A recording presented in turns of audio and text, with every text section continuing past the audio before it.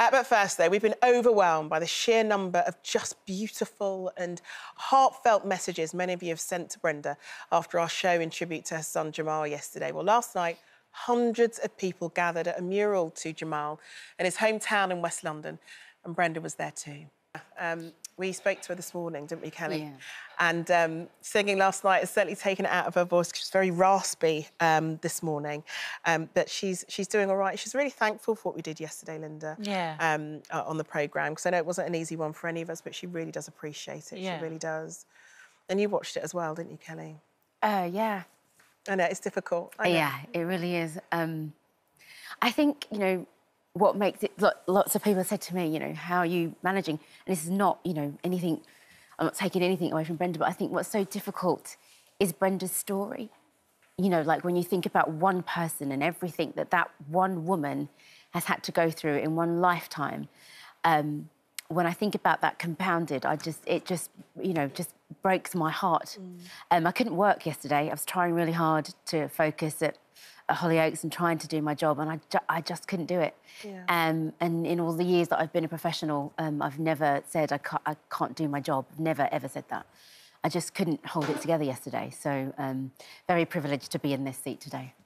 I just felt when um, I was rung on Sunday night and told, I just felt, God, I was way out of London, so I couldn't go and see her. And if I just wanted to hug her because I worked with her last Friday, and then we went, oh, cheerio, see you next week. And, you know, she was her usual bouncy, super loud, jolly Brenda self.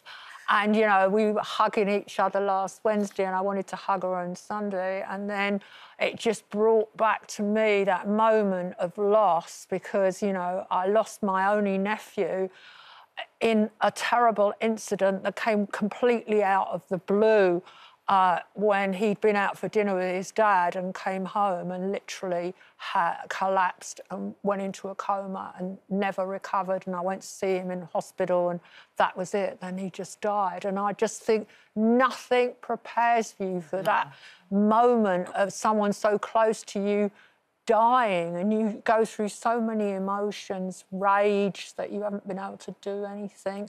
But I just know that Linda knows that, I'm sorry, Brenda knows that we love her so Yeah. much and we're there for her in whatever way we can be. Yeah, we spoke about that yesterday, didn't we, Linda? The Yeah. fact that we are, you know, we're a tight family. When one of us hurts, We're we not all work hurt. colleagues, we're friends. Yeah. We all Yeah. get on really, really well. We all socialise together. But you guys did an amazing job. No, Not Charlene only, no, particularly, all of you did as a team, No, you but you just really held it together because it's a difficult balance, paying respect, but also hosting a show. So, you know, dealing with your own feelings and your own your own emotions as well. I think you did a, a sterling job. Yeah, and we just, Well, at the end of yesterday's show, um, I was in a dilemma myself. I just thought I'd want to go around and see Brenda, but I didn't want to intrude because I'm not family or whatever, although I've known Brenda for many, many years. So um, we all got some flowers and we all signed a card, and I thought I'll just drop it in as I'm going home. So I got the card to take me to her house. And um, I got there and I thought I'll just knock on the door and just leave some flowers and the card there and just say, like, we're all thinking of you.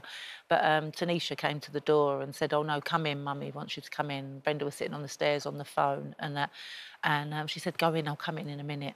And then I went into the kitchen and they made me a cup of tea. And then she came and she went to me, don't cry. I promise I won't cry. no, yeah. But uh, I don't think it's hit her yet. I mean, she's No. just all over the place, isn't she? And Tanisha as well. I mean, I think what's what's really beautiful, and I know on my Instagram um, uh, screen and on, on Twitter, just the beautiful pictures and the wonderful words of Jamal have been just wonderful. It just got me thinking that, that I know we tend to have national treasures that come from a particular sector of society in this country. But I think the reaction to Jamal's death, and I'm sure that at that mural, those flowers, that, that mountain of flowers is just going to get bigger and bigger and bigger over the next few weeks. And I believe that that for especially within my community and not just not just the London thing, I think outside of London too, he was a national treasure. And I think yeah. That's that's a phrase I'd love us to start using a lot more with Jamal because I believe that that's exactly what he was. And when you see just how heartfelt and just how upset people are, whether or not they've met him, And I think that's what a national treasure does. changed so lost- many people's lives, people's didn't he? lives. He really did. He does. Um, and I know that many of you watching have sent so many wonderful messages of love and support. And, and Brenda knows all of that and she appreciates um, every single one of you getting in touch. And we will continue to support her in the way that, that we have, you know, as she tries to deal with losing her beautiful boy.